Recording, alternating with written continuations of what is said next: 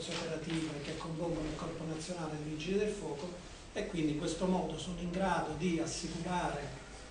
eh, l'intervento operativo sulla specifica. Che l'altra piccolissima scossa di una settimana, una decina di giorni fa, che ha interessato, anche se soltanto in via diciamo, molto lieve, eh, i Bagnoli, Montella e Leoni.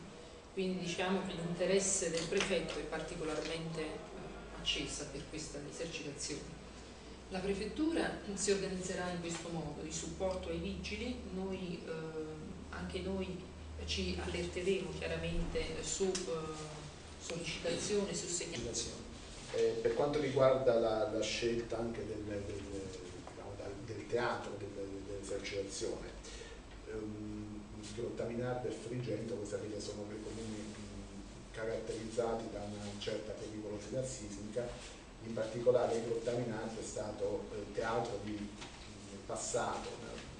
di sei forti terremoti che hanno, nel corso della storia, hanno raggiunto addirittura superato il nono grado della scala mercato, per cui la scelta di prendere eh, come riferimento il contaminante. Peraltro il contaminante nel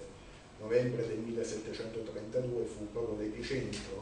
di quel forte terremoto che interessò tutta l'Italia meridionale e che ebbe effetti importanti anche nella città di Avellino, tant'è vero che la città di Avellino conosciuto la più alta intensità macrosismica proprio in occasione di quel terremoto perché fu raggiunto il nono grado della scala Mercalli. Come diciamo